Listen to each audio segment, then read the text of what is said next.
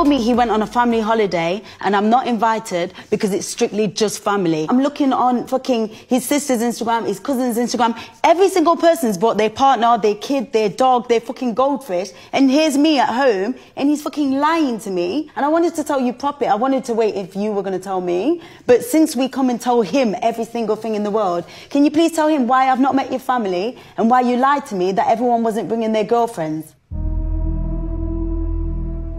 Like, I'll be honest, like, I've never, I've never dated a black girl, and I've never brought a black girl home. Like, my family, they're not racist. I'm not racist, obviously. Like, but I feel like I need to set some things in place before they meet her because I, I didn't do, come I, on your family holiday because I'm a black girl.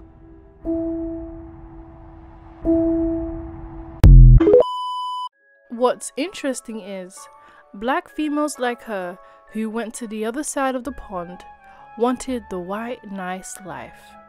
Looked at black men as if they're not in her league. But this man here and his family is letting her know you are no different to those same black men she looked down upon. But what makes it worse than her being black and not being welcomed is that she's a black female with no traditional values at all. So much he isn't willing to bring her home. He isn't willing to introduce her, although he's willing to conquer the black man through the black female. He now has terms and conditions for what his family would deem acceptable, as they both know she's nothing more than a bed wench. She believed she would be just accepted. She believed she would be easily welcome, but there's an underlying term she wasn't expecting that she had to make. She thought her pretty privilege was just enough. There is the difference between the white man. No matter how easy it was to sleep with him, get his attention, or even be with him although they will always prioritize on traditional values no matter what. Which is why they are the ruling race, because this isn't something they're wavering for anyone. It doesn't matter how much of a baddie you are, it doesn't matter who you think you are, it doesn't matter if you're 10 or 15, it doesn't matter if you're Kim K. There will be a standard you must follow by, or you won't be included and it's the most consistent thing. Other ethnic groups also do, although black females choose to throw away these qualities. Whether or not she's willing to be that, what he deems suitable and presentable to his parents, the man knows she thought going outside of her race would erase those problems. She thought her problems was the dusty black man. But in that moment, it's almost clear who she is and what his family sees her to be. A lot of females think these issues just disappear. It's very clear he's not only embarrassed by this black female, but ashamed to even introduce her to the family event as his girlfriend.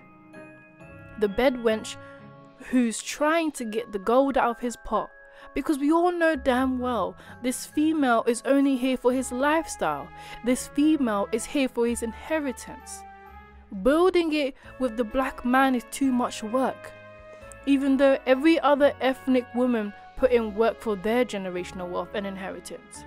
Black females are the only ones out of the other ethnic groups who have this lazy and freeloading mindset who just want to take, take, take, but never want to have to do anything for it. They all think they're winning by being on the other side of the pond. They think they're building generational wealth. But you will never have generational wealth without the black man. And he will use the black females, just like this man is, to rule over the black man. As this will be females who think they're better than the average black man, this will be females who never want to submit to the average black man, in this case, she's really seeing where she sits with her white counterparts Deep down, she knows there's nothing she can do about it but play pretend. See, it was easy to live in the delusion when wool was being pulled over your eyes until it's not. I'm your hostess, Remnant Princess. These are my last thoughts.